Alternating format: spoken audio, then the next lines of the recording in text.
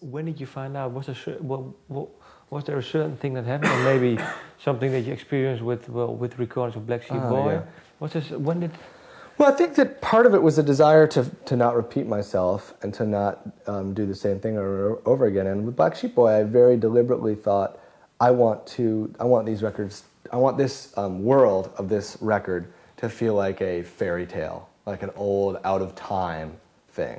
Not old, but a not in modern time. Um, and so, you know, if you're thinking that you want to make your, your next record really different, well, that's one way to do it is to take it up to, to now, to the modern time, to modern times. Guys, for you, then, then how, how did you progress from there? Well, you just had the stage names, and then you thought, well, hmm, how can I translate it into this, these times, or? Um, no, no. Actually, I, I, I had the idea that I wanted to make a modern record before I started writing the stage names.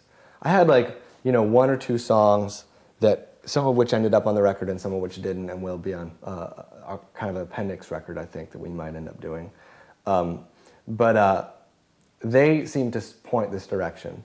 This kind of thing where it's modern people and they're not um, they're not having massive cataclysmic things happening happen to them. They're having ordinary day-to-day disappointments and bullshit happen to them, kind of like you know real life. And um, that was the original idea. And then as the theme of the stage name started to come together and congeal more in my head, um, I kind of uh, kept working in that direction.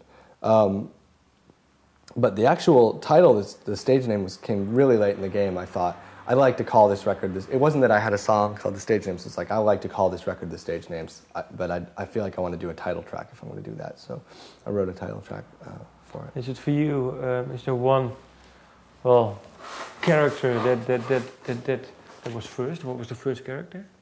The first character was um, a girl who does not appear on. There's see in my mind there's people who uh, who are common between the different songs, and I do think of it in terms of characters. It might sound um, weird to say this or like I'm making it up, but it, I'm not.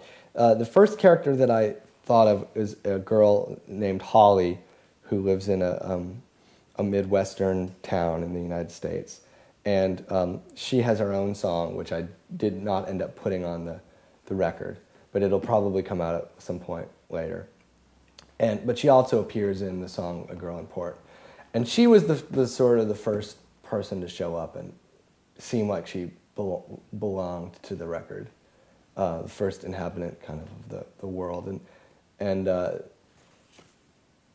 I don't know. There's, so, so I guess that was the first character that I thought of. And is it for you then, then how, how, how did the other characters evolve? Was it they spin off of each other? Or?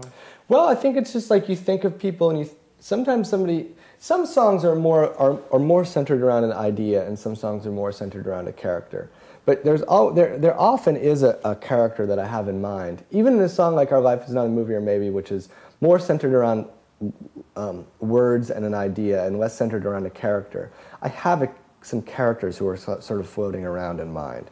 Um, but with like another song, like with John Allyn Smith Sails, the last song, that song is all about that character. It's his voice, it's his song. He gets to, to do what he, what he wants and say what he wants.